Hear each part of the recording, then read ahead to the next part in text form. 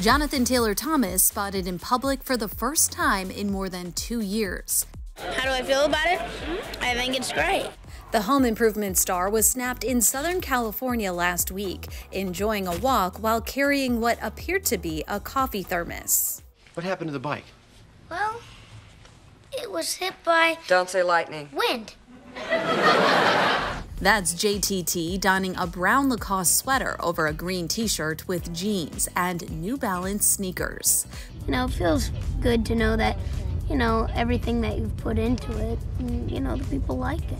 The former child star who famously voiced young Simba in the 1994 Disney classic The Lion King. But I thought a king can do whatever he wants. Oh, there's more to being king than getting your way all the time. There's more? Hadn't been seen in public since July 2021. And prior to that outing, Jonathan hadn't been seen in nearly eight years. The last time Jonathan was on TV was when he reunited with his home improvement dad, Tim Allen, on his sitcom Last Man Standing. Hi, Mike Baxter. Hey. Man, you look familiar.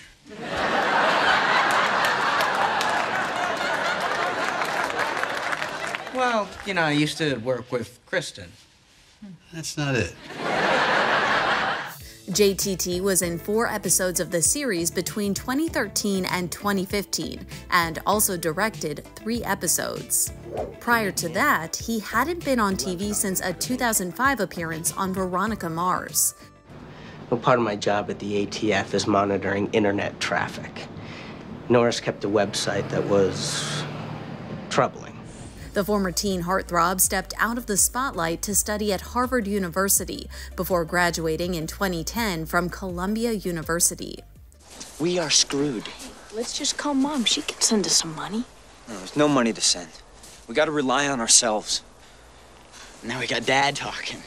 Back in 2020, E.T. sat down with his Wild America co star Devon Sawa, who said he last spoke to his friend a few years ago, adding that Jonathan was trying to do a mockumentary with Macaulay Culkin. Never ended up going anywhere, but uh, it was good to speak to him. I always had a feeling that um, from doing school with him that he was going to go off and do things other than acting because he was just so smart. And um, so to find out he went off to Harvard and, and uh, took a different road was was not surprising. But I'm, you know, he's I miss him. He's a good guy. And speaking of 90s icons, E.T. was with Macaulay last week as he received his star on the Hollywood Walk of Fame. Sharing this moment with your two boys, what does that mean to you? Uh, uh, that's the the whole reason. It's the reason to do this. It's the reason, um, pretty much to do anything now. I love the fact that my boys can come here and see a dog pee on my name. From Mac to JTT, we're feeling the throwback 90s spirit and we want more.